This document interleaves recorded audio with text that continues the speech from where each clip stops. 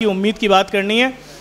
मैं उस शख्स को उम्मीद कैसे दिखाऊँ, जिसकी तनख्वाह साठ हज़ार रुपये है और उसके घर का किराया पैंतीस हज़ार रुपये है। दर्दनाक कहानी होती है। उसमें अस्सी हज़ार रुपये तनख्वाह भी होती है माँ बाप का इलाज भी होता है, घर का चार महीने का किराया चढ़ा होता है, बच्चों का एडमिशन कैंसिल हो चुका होता है। हम जिन हालात से इस वक्त गुजर रहे हैं, मुल्क की जो इकतसादी सूरत हाल है, उसका मैं थोड़ा सा आपको खाली बात बता दूँ, हम इस वक्त जो प्रोजेक्ट्स रन कर रहे हैं, फलाई हमने पूरी दुनिया में किसी भी मुल्क में, किसी शहर में, किसी चौरंगी पर लैब नहीं बनी, खून टेस्ट करने की, जो लोगों के पूरे शहर के तमाम प्राइवेट अस्पताल, तमाम सरकारी अस्पताल और जो लाखों डिस्पेंसरियाँ होती हैं, उन सबके मरीजों को दावत दे के अगर तुम्हारे टेस्ट तुम्हारी सदात से बाहर हैं। प्राइवेट लैब माफिया है हमारे मुल्क में, उसको माफिया कहा जाता है।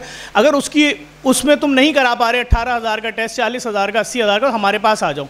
तुमने इतने ओपन प्रोजेक्ट्स लगाए हुए हैं, हमारे डायलिसिस सेंटर हैं, सियालकोट में भी हैं, कराची में भी फ्री हैं प्रोजेक्ट्स बल्कि अभी हमने पंजाब गवर्नमेंट के साथ मिलकर फ्री आई सिटी भी यहाँ खोला है, लाहौर में मॉडल टाउन में सत्ताईस हज़ार बच्चों को उसमें एडमिशन दिया फ्री में पढ़ा रहे हैं। तो महीने के अखराज तकरीबन अट्ठाईस करोड़, सत्ताईस करोड़ रुपये बनते हैं जो हमें पे करने होते हैं। लेकिन इस वक्त मुल्क की सूरत हाल ये पिछले सात महीनों से हम सत्ताईस लाख रुपये भी नहीं कर पा रहे मैटर क्या है?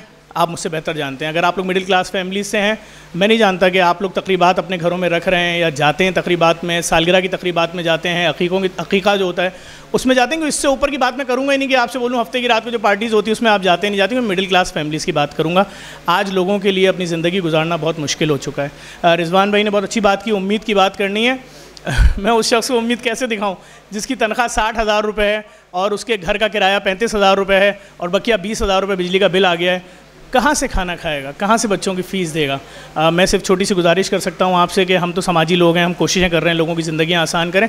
लेकिन यकीन जाने यहाँ जितने लोग बैठे हैं हर एक के लिए आ, इंटरनेट के ऊपर पैसा कमाने का ज़रिया मौजूद है। इस वक्त एक वबा कह लें एक लत कह लें हम सब लोग अपने मोबाइल के ऊपर इतनी स्क्रॉलिंग करते हैं, इतनी स्क्रॉलिंग करते हैं, एक रील देखने बैठते हैं और उसके बाद शायद हमें फिर अपने दिमाग पे ज़ोर देना पड़ता है कि हमें चार घंटे बाद उठना है, हमें ऑफ़िस या दफ्तर जाना है, हमें अपने कॉलेज यूनिवर्सिटी जाना है। देख क्या रहे होते हैं? हम लोगों की वो चीज़ें देख रहे होते हैं। हम देख रहे हैं कि भाई एक इंडिया के किसी गाँव में एक आम आदमी है, उसने एक बड़ा सा पतीला ले लिया, एक बकरा काट दिया, बकरा काट के उसने पका लिया और सब कुछ करके गरीब बच्चों को खिला दिया। वो वीडियो उसकी आठ घंटे के अंदर इकतीस मिलियन व्यू है। और वो दिखा के आ रहा है, वो दिखा रहा है अपना फटा हुआ कुर्ता, अपनी धोती और खेत के अंदर खाना बना रहा है। एक मोटरसाइकिल मैकेनिक, मैं उसकी वीडियोस देख रहा था, उसकी वीडियो वो दिन में डालता है, एक दिन के अंदर कितनी व्यू हो रही है जी?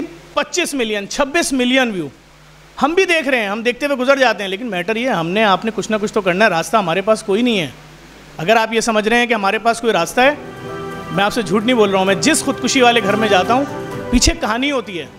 बड़ी दर्दनाक कहानी होती है। उसमें अस्सी हज़ार रुपये तनख्वाह भी होती है माँ बाप का इलाज भी होता है, घर का चार महीने का किराया चढ़ा होता है, बच्चों का एडमिशन कैंसिल हो चुका होता है, आठ महीने की फ़ीस नहीं दी होती दर्द, महरूमी, कोई रिश्तेदार आना पसंद नहीं करता, सगा भाई एक रुपया देने का रवादार नहीं, वो अपने बच्चों को नहीं पाल पा रहा, आपको कैसे पालेगा?